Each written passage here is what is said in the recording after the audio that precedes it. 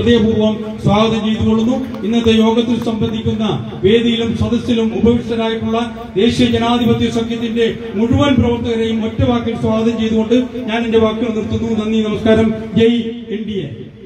കോട്ടയത്തിന്റെ രാഷ്ട്രീയ ചരിത്രം മാറ്റിമറിച്ചുകൊണ്ട് ദേശീയ ജനാധിപത്യ സഖ്യത്തിന്റെ ഓഫീസ് ആരാധ്യനായ chairman Shri K Surendran B D J സംസ്ഥാന അധ്യക്ഷൻ Shri Thushar Vellappally B J P ദേശീയ നിർവാഹക സമിതി അംഗം ശ്രീ പി കെ കൃഷ്ണദാസ് മൂവരും ചേർന്ന് ഭദ്രദീപം കത്തിച്ചുകൊണ്ട് ഈ ഓഫീസിന്റെ ഉദ്ഘാടനം നിർവഹിക്കുന്നു. കോട്ടയത്തിന്റെ രാഷ്ട്രീയ ചരിത്രം മാറ്റിമറിച്ചുകൊണ്ട് കോട്ടയം പാർലമെന്റ് മണ്ഡലത്തിൽ ഇരു മുന്നണികൾക്കുമെതിരെ നരേന്ദ്രമോദിയുടെ ഗ്യാരണ്ടി എന്ന ഉറക്ക പ്രഖ്യാപനവുമായി ദേശീയ ജനാധിപത്യ സഖ്യത്തിന്റെ കോട്ടയത്തെ ഓഫീസിന്റെ ഉദ്ഘാടനം നടന്നുകൊണ്ടിരിക്കുകയാണ്. ആരാധ്യനായ N D A chairman Shri K Surendran N D A convener Shri Thushar Vellappally N D A coordinator Shri P K Krishnadas എന്നീ മൂന്ന് പേർ ചേർന്ന് ഭദ്രദീപം പകർന്നുകൊണ്ട് കോട്ടയം പാർലമെന്റ് മണ്ഡലത്തിലെ നരേന്ദ്രമോദിയുടെ നരേന്ദ്രമോദിയുടെ ഗ്യാരണ്ടിയുടെ പ്രവർത്തനങ്ങൾക്ക് തുടക്കം കുറിക്കുകയാണ്.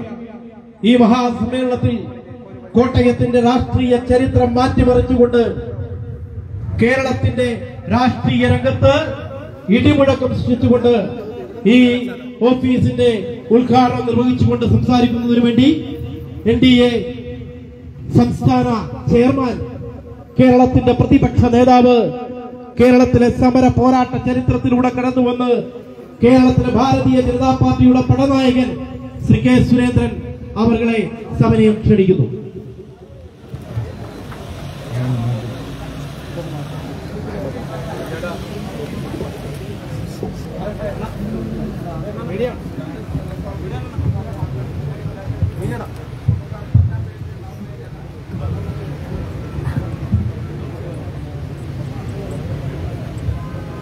ദേശീയ ജനാധിപത്യ സഖ്യത്തിന്റെ കോട്ടയം പാർലമെന്റ് മണ്ഡലം കമ്മിറ്റി ഓഫീസിന്റെ ഔപചാരികമായ ഉദ്ഘാടന ചടങ്ങിൽ പങ്കെടുത്തുകൊണ്ടിരിക്കുന്ന എൻ ഡി എയുടെ കൺവീനർ ശ്രീ തുഷാർ വെള്ളപ്പള്ളി അവറുകൾ ഭാരതീയ ജനതാ പാർട്ടിയുടെ മുൻ സംസ്ഥാന അധ്യക്ഷൻ ബഹുമാന്യനായ ശ്രീ പി കെ കൃഷ്ണദാസ് ജി ഈ വേദിയിൽ സന്നിഹിതരായിട്ടുള്ള ദേശീയ ജനാധിപത്യ സഖ്യത്തിന്റെ സംസ്ഥാനത്തെയും ജില്ലയിലെയും മുതിർന്ന നേതാക്കളെ പ്രിയപ്പെട്ട സഹോദരി സഹോദരന്മാരെ സുഹൃത്തുക്കളെ എല്ലാവർക്കും എന്റെ വിനീതമായ നമസ്കാരം. ലോക്സഭാ തെരഞ്ഞെടുപ്പ് ഔപചാരികമായി പ്രഖ്യാപിക്കാൻ ഇനി ഏതാനും ദിവസങ്ങൾ മാത്രമേ ബാക്കിയുള്ളൂ. സംസ്ഥാനത്ത് ദേശീയ ജനാധിപത്യ സഖ്യം അതിന്റെ തെരഞ്ഞെടുപ്പ് പ്രചാരണങ്ങൾ. ഇരു മുന്നണികളെക്കാളും മെച്ചപ്പെട്ട നിലയിൽ വളരെ ശക്തമായ നിലയിൽ പുരോഗമിക്കുകയാണ്. ഇതിനോടകം പതിനാല് സ്ഥാനാർത്ഥികളെ പന്ത്രണ്ട് സ്ഥാനാർത്ഥികളെ ഭാരതീയ ജനതാ പാർട്ടിയും രണ്ട് സ്ഥാനാർത്ഥികളെ ബി ഡി ജെ എസും ഇതിനോടകം പ്രഖ്യാപിച്ചു കഴിഞ്ഞു. രണ്ടോ മൂന്നോ ദിവസത്തിനകം ബാക്കി ആറ് സ്ഥാനാർത്ഥികളെയും ദേശീയ ജനാധിപത്യ സഖ്യം പ്രഖ്യാപിക്കും. കോട്ടയം ഇത്തവണ വലിയ മാറ്റങ്ങൾക്ക് തുടക്കം കുറിക്കുന്ന ഒരു മണ്ഡലമായി കേരളത്തിൽ ദേശീയ ജനാധിപത്യ സഖ്യത്തിന് ചരിത്രപരമായ വിജയം സമ്മാനിക്കുന്ന ഒരു മണ്ഡലമായി മാറുമെന്നുള്ള കാര്യത്തിൽ യാതൊരു സംശയവുമില്ല. ഇത്തവണ എൻ ഡി എ കേരളത്തിൽ വലിയ മുന്നേറ്റം നടത്തുമെന്ന് അറിയുന്നത് കൊണ്ടാണ് ഇരു മുന്നണികളിലും ഈ അങ്കലാപ്പ് നാം കാണുന്നത്. പ്രചാരണത്തിന്റെ ആദ്യ റൗണ്ടിൽ പ്രഖ്യാപിക്കുന്നതിന് മുമ്പ് തന്നെ സ്ഥാനാർത്ഥികൾ നാമനിർദ്ദേശം കൊടുക്കുന്നതിന് മുമ്പ് തന്നെ ഔപചാരികമായി തെരഞ്ഞെടുപ്പ് കമ്മീഷൻ തെരഞ്ഞെടുപ്പ് തീയതി പ്രഖ്യാപിക്കുന്നതിന് മുമ്പ് തന്നെ ഒരു മണ്ഡലത്തിൽ സിറ്റിംഗ് എം പി പരാജയം സമ്മതിച്ച് മാറിപ്പോയിരിക്കുന്നു. അതും ഭാരതീയ ജനതാ പാർട്ടിയുടെ എൻ ഡി എയുടെ സ്ഥാനാർത്ഥി കാരണം. തൃശൂരിൽ സിറ്റിംഗ് എം പി മാറി നിൽക്കുകയാണ്. ബാക്കി എല്ലാ മണ്ഡലങ്ങളിലും സിറ്റിംഗ് എം പിമാരെ വെച്ചിരിക്കുക തൃശൂരിൽ അവരെ സിറ്റിംഗ് എം പിയെ മാറ്റിയിട്ട് മുരളീധരനെ കൊണ്ടുവന്നിരിക്കുന്നു എന്നാണ് പറയുന്നത്. മുരളീധരൻ എപ്പോഴും ജയിക്കാൻ വേണ്ടി മത്സരിക്കുന്ന സ്ഥാനാർത്ഥിയല്ല. മുരളീധരൻ ശിഖണ്ഡിയെ പോലെയാണ്. തോൽപ്പിക്കാൻ മുന്നിൽ നിൽക്കുന്ന ആളാണ്. അത് നിയമത്തെ ഞങ്ങൾ കാണിച്ചു എന്നാണ് പറയുന്നത്. മുരളീധര ഇത് നിങ്ങൾ ഇനി ഒരു തെരഞ്ഞെടുപ്പിലും കേരളത്തിൽ ജയിക്കില്ല. കോൺഗ്രസിൽ നിന്നുകൊണ്ട് നിങ്ങൾക്ക് ഇനി ഒരു തെരഞ്ഞെടുപ്പിലും കേരളത്തിൽ നിങ്ങൾ വീണ്ടും വേറൊരു പാർട്ടി മാറേണ്ടി വരും. ബി ജെ പിയെ തോൽപ്പിക്കാനാണ് അത്രയും മുരളീധരൻ. സാധാരണ സ്ഥാനാർത്ഥികളെ പ്രഖ്യാപിക്കുമ്പോൾ അവരെന്താണ് ആദ്യത്തെ വാചകം പറയാറുള്ളത്? അവരാദ്യം പറയാറുള്ളത് ഞാൻ ഈ തെരഞ്ഞെടുപ്പിൽ ജയിക്കാനാണ് വരുന്നതെന്നാണ്. പക്ഷെ ആ മഹാൻ പറഞ്ഞിരിക്കുന്നത് ബി ജെ പിയെ മൂന്നാം സ്ഥാനത്തേക്കാക്കാൻ വേണ്ടിയിട്ടാണ് ഞാൻ മത്സരിക്കുന്നത്. എന്തിനാണ് ഈ ഈ ഒരു കങ്കാണി പണിക്ക് താങ്കൾ കൂട്ടു നിൽക്കുന്നത്? എന്തോ പിടിച്ചെടുക്കാൻ വേണ്ടി വരുന്നു എന്നൊക്കെയാണ് ആളുകൾ പ്രചരിപ്പിക്കുന്നത്. ഒന്നുമല്ല. എന്താണ് മുരളീധരൻ തൃശ്ശൂരിൽ വരാനിടയായ കാരണം? ആലപ്പുഴ കെ സി വേണുഗോപാലിന് വേണം. അതിന് മുരളീധരനെ ബലിയാടാക്കിയതാണ്. അല്ലാതെ മുരളീധരൻ എന്തോ നേടിക്കളയാമെന്ന് വിചാരിച്ച് തൃശൂരിലേക്ക് വന്നതല്ല. എന്താ ആലപ്പുഴയ്ക്കുള്ള പ്രത്യേകത? ആലപ്പുഴ യു ഡി എഫിലെ ഏക മുസ്ലിം സ്ഥാനാർത്ഥിക്ക് കൊടുക്കാൻ നിശ്ചയിച്ച മണ്ഡലമായിരുന്നു. ആ മണ്ഡലം എടുക്കുമ്പോ വേറെ എവിടെയും മുസ്ലിം സ്ഥാനാർത്ഥിക്ക് കൊടുക്കാനില്ല. കണ്ണൂർ സുധാകരൻ വിട്ടുകൊടുക്കുന്നില്ല. എത്ര കാലമായി ഈ സുധാകരനൊക്കെ മത്സരിക്കുന്നു? പുതിയ ആളുകൾക്ക് മാറിക്കൊടുക്കണ്ടേ അതല്ല രാഷ്ട്രീയം. ഞങ്ങളൊക്കെ നോക്ക്. P K കൃഷ്ണദാസി Kummanam Rajasekharan ji B J P സംസ്ഥാന പ്രസിഡന്റ് എല്ലാവരും മാറി പുതിയ ആളുകൾക്ക് അവസരം കൊടുക്കുക. സുധാകരൻ ഇത് ആരോഗ്യ പ്രശ്നമുണ്ട്. ഞാൻ മത്സരിക്കുന്നില്ല എന്ന് രണ്ടു കൊല്ലം മുമ്പ് പറഞ്ഞ സുധാകരൻ അവിടെ അള്ളി പിടിച്ചിരിക്കുകയാണ് അപ്പൊ പിന്നെ മുസ്ലിം സ്ഥാനാർത്ഥിക്ക് എവിടെ കൊടുക്കും. പിന്നെ വടകര മാത്രമേ ഉള്ളൂ. അങ്ങനെയാണ് യൂത്ത് കോൺഗ്രസിന്റെ നേതാവിനെ വടകരയിലേക്ക് കൊണ്ടുവന്ന് പാലക്കാട്. ഇപ്പൊ വടകരയിൽ മുരളീധരനെ തട്ടിയതാണ്. തൃശൂരിലേക്ക് തട്ടിയതാണ്. എന്നിട്ട് താത്വിക അവലോകനം നടത്തുകയാണ് ബി ജെ പിയെ തോൽപ്പിക്കാൻ. ബി ജെ പിയെ ഇത്തവണ തൃശൂരിൽ തോൽപ്പിക്കാൻ മുരളീധരനല്ല നിങ്ങൾ എല്ലാവരും ചേർന്ന് ഒരുമിച്ച് മത്സരിക്കാനും സാധിക്കില്ല എന്ന് പറയാൻ ഞാൻ തയ്യാറാവുകയാണ്. ജനങ്ങൾ കരുണാകരന്റെ മകൾ കേരളത്തിലെ അറിയപ്പെടുന്ന വനിതാ കോൺഗ്രസ് കോൺഗ്രസിന്റെ വനിതാ മുഖം. എത്രയോ വർഷമായി പൊതുരംഗത്ത് നിൽക്കുന്നയാൾ. അവർ കോൺഗ്രസിന്റെ വഞ്ചന മനസ്സിലാക്കി. മോദിയുടെ നയങ്ങളിൽ ആകർഷയായി ബി ജെ പിയിൽ തേരാൻ തീരുമാനിച്ചു.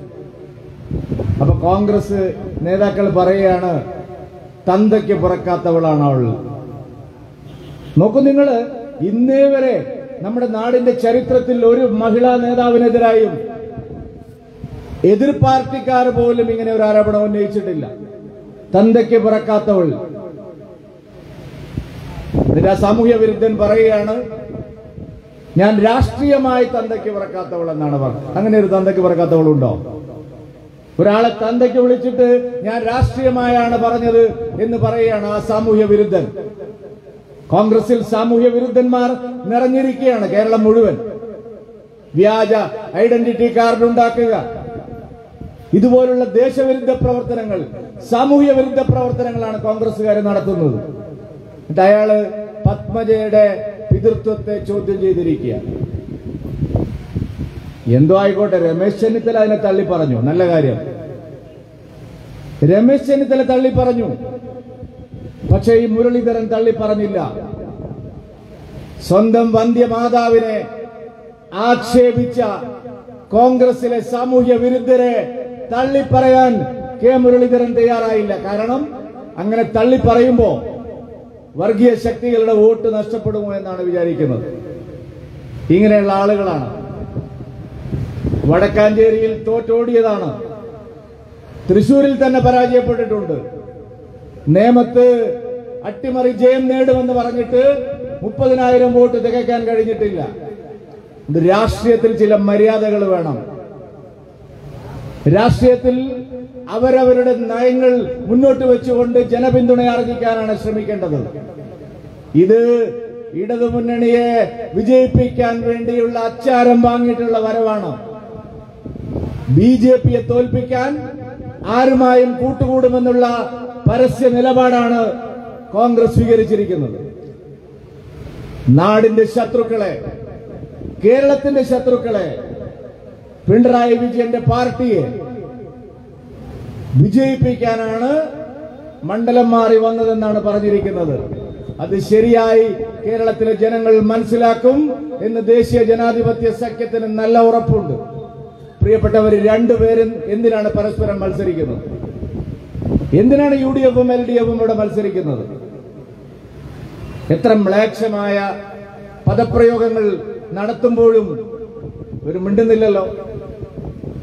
ശ്രീമാൻ എ കെ ആന്റണിയുടെ മകൻ ബി ജെ പിയിൽ ചേർന്നപ്പോൾ പരിണതപ്രജ്ഞനായ എ കെ ആന്റണി കാണിച്ച ഔചിത്യ ബോധം കേരളം മുഴുവൻ ചർച്ച ചെയ്തതാണ്.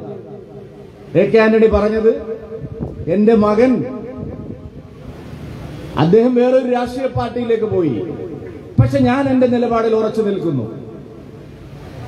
അതല്ലേ രാഷ്ട്രീയത്തിൽ മര്യാദയായിട്ടുള്ളത്? എല്ലാവരും ഒരു പാർട്ടിക്കാരാണെങ്കിൽ പിന്നെ എന്തിനാണ് ജനാധിപത്യം? പിന്നെ എന്തിനാണ് തെരഞ്ഞെടുപ്പുകൾ? പാർലമെന്ററി ഡെമോക്രസിയിൽ അഭിപ്രായ വ്യത്യാസമുള്ള ആളുകൾ പാർട്ടി മാറും. ഈ കെ മുരളീധരൻ എത്ര പാർട്ടി മാറിയിട്ടുണ്ട്? കെ മുരളീധരൻ മാറി അത്രയും പാർട്ടി കേരളത്തിൽ ഒരു നേതാവും മാറിയിട്ടില്ല.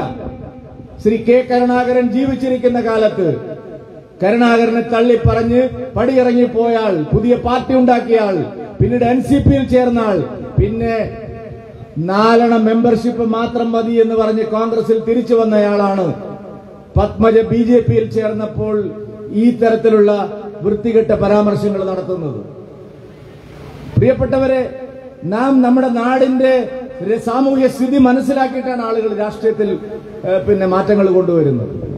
കോൺഗ്രസ് എന്ന് പറയുന്ന പാർട്ടിക്ക് ഇനി ഇന്ത്യ രാജ്യത്തും കേരളത്തിലും നിലനിൽപ്പില്ല എന്ന് മനസ്സിലാക്കിയിട്ടാണ് ആളുകൾ ബി ജെ പിയിലേക്ക് വരുന്നത് എൻ ഡി എയിലേക്ക് വരുന്നത്. ഇനിയും ആളുകൾ വരും. കരഞ്ഞ് കരഞ്ഞ് നിങ്ങൾ എത്ര കാലം കഴിയും എന്നാണ് എനിക്ക് ചോദിക്കാനുള്ളത്. ധാരാളം ആളുകൾ എൻ ഡി എയിലേക്ക് വരാൻ തയ്യാറായി നിൽക്കുന്നു.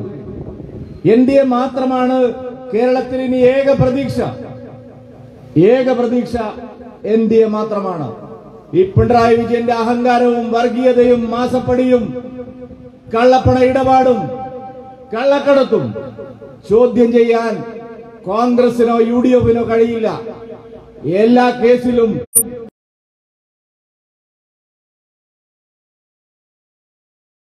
അതുകൊണ്ടാണ് ജനങ്ങൾ ഭാരതീയ ജനതാ പാർട്ടിയിലേക്കും ദേശീയ ജനാധിപത്യ സഖ്യത്തിലേക്കും കടന്നു വരുന്നത്. അതിനെ അസഹിഷ്ണുതയോട് നേരിട്ടിട്ട് കാര്യമില്ല. ജനാധിപത്യത്തെ ജനാധിപത്യമായി കാണണം. രാഷ്ട്രീയത്തെ രാഷ്ട്രീയമായി കാണണം. എല്ലാവർക്കും പറയാനുള്ള കാര്യങ്ങൾ ജനങ്ങളോട് പറഞ്ഞ് ജനങ്ങൾ തീരുമാനമെടുക്കട്ടെ. അതാണ് തെരഞ്ഞെടുപ്പുകളിൽ കാണുന്നത്. ഞങ്ങൾ എത്രയോ തവണ തോറ്റിട്ടുണ്ട്. തോൽക്കുമ്പോൾ വേറെ ആളുകളെ കുറ്റം പറയുകയോ മത്സരിക്കുന്നത് വേറെ ആൾക്കാരെ തോൽപ്പിക്കാനാണ് ഞങ്ങൾക്ക് ജയിക്കാനല്ല എന്ന് പറയുകയോ ചെയ്യുന്ന പാർട്ടിയല്ല ബി ജെ പിയും എൻ ഡി എയും. സുഹൃത്തുക്കളെ നമ്മുടെ നാട് കേരളം ഇതുപോലൊരു പരിതസ്ഥിതിയിൽ വന്ന് നിൽക്കുമ്പോൾ കടക്കണിയിൽപ്പെട്ട് ഉടലുമ്പോൾ അക്രമങ്ങളും കൊലപാതകങ്ങളും നടക്കുമ്പോൾ കലാശാലകളിൽ ക്രൂരമായ റാഗിങ്ങിന്റെ പേരിൽ കൊലപാതകങ്ങൾ നടക്കുമ്പോൾ വലിയ അഴിമതികൾ നടക്കുമ്പോൾ സാമ്പത്തിക പ്രതിസന്ധിയിലൂടെ കേരളം പോകുമ്പോൾ ചെറുപ്പക്കാർക്ക് തൊഴിലില്ലാത്ത ലക്ഷക്കണക്കിന് ആളുകൾ പെരുകുമ്പോൾ എന്താണ് ഈ രണ്ട് മുന്നണികൾക്ക് ഒരു നയം ഒരു ബദൽ നയം കേരളത്തെ രക്ഷിക്കാൻ? എൽ ഡി എഫിന്റെ സർക്കാർ നടത്തിക്കൊണ്ടിരിക്കുന്ന തെറ്റായ നയങ്ങൾക്ക് ഒരു ബദൽ നയം കോൺഗ്രസിനുണ്ടോ? U D എഫിനുണ്ടോ? ഒരു ബദൽ നയവുമില്ല. രണ്ടുപേരും ഒരേ നയമുള്ളവരാണ്. രണ്ടുപേർക്കും ഒരേ മുഖമാണ്. രണ്ട് മുന്നണികളും ലക്ഷണമൊത്ത അഴിമതിക്കാരുടെ മുന്നണികളാണ്. രണ്ട് മുന്നണികളും ലക്ഷണമൊത്ത വർഗീയ ശക്തികളോടായി ചേരുന്നവരാണ്. രണ്ട് മുന്നണികളും ലക്ഷണമൊത്ത വികസന വിരോധികളാണ്. അവിടെയാണ് എൻ ഡി എയുടെ പ്രസക്തി. ഇനി കേരളത്തെ രക്ഷിക്കാൻ ദേശീയ ജനാധിപത്യ സഖ്യത്തിന് മാത്രമേ കഴിയൂ എന്നുള്ള തിരിച്ചറിവിലേക്കാണ് പ്രിയപ്പെട്ടവരെ കേരളം എത്തുന്നത്. അതായിരിക്കും ഈ തെരഞ്ഞെടുപ്പിൽ ഏറ്റവും വലിയ ചലനം സൃഷ്ടിക്കാൻ പോകുന്ന സന്ദേശം. മോദിയുടെ ഗ്യാരണ്ടിക്ക് മാത്രമേ ഇനി കേരളത്തെ രക്ഷിക്കാൻ കഴിയൂ എന്നുള്ള ഉറച്ച വിശ്വാസമാണ് ജനങ്ങൾക്കുള്ളത്. അതുകൊണ്ടാണ് മതന്യൂനപക്ഷങ്ങളും എല്ലാവരും ബി ജെ പിയിലേക്ക് ചേർന്നുകൊണ്ടിരിക്കുന്നു അതുകൊണ്ട് ഈ തെരഞ്ഞെടുപ്പ് കേരളത്തിൽ എൻ ഡി എയുടെ തെരഞ്ഞെടുപ്പായിരിക്കും. ഈ തെരഞ്ഞെടുപ്പിൽ ഏറ്റവും വലിയ മുന്നേറ്റം സംസ്ഥാനത്ത് നടത്തുന്നത് ബി ജെ പിയും ദേശീയ ജനാധിപത്യ സഖ്യവുമായിരിക്കും.